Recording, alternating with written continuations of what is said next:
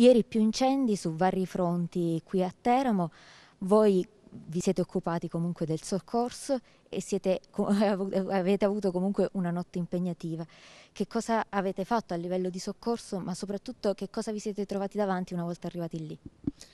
Beh sì, noi ieri pomeriggio avevamo già una squadra in pronta partenza come tutti i giorni lasciamo a disposizione la sala operativa regionale e si occupa degli incendi boschivi, però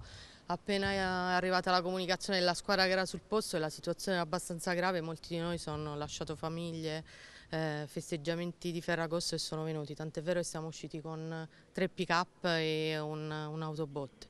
Beh, la situazione, noi diverse volte abbiamo fatto gli incendi a Carapollo, quello di ieri è stato abbastanza, forse il peggiore che abbiamo, abbiamo visto. Purtroppo le condizioni meteo non erano delle migliori, per cui il vento non ha aiutato, il caldo non piove da tantissimo tempo, quindi è stato abbastanza complicato. Abbiamo proseguito poi fino alla, al, al, presidio notturno, una nostra squadra è stata proprio qui a Carapollo e un'altra squadra è stata mandata a Torricella perché eh, contemporaneamente Carapollo, Torricella, Miano, quindi fino alle 5 della mattina siamo stati a fare spegnimento e supporto ai vigili del fuoco vicino a una casa. Ci sono ancora dei rischi per Teramo e le abitazioni all'interno del centro? Eh, penso che insomma, la situazione adesso sia abbastanza tranquilla, però adesso l'importante è che le squadre facciano le bonifiche a terra, quindi seguano il perimetro, bagnino e puliscano il perimetro in modo che si estingua definitivamente l'incendio.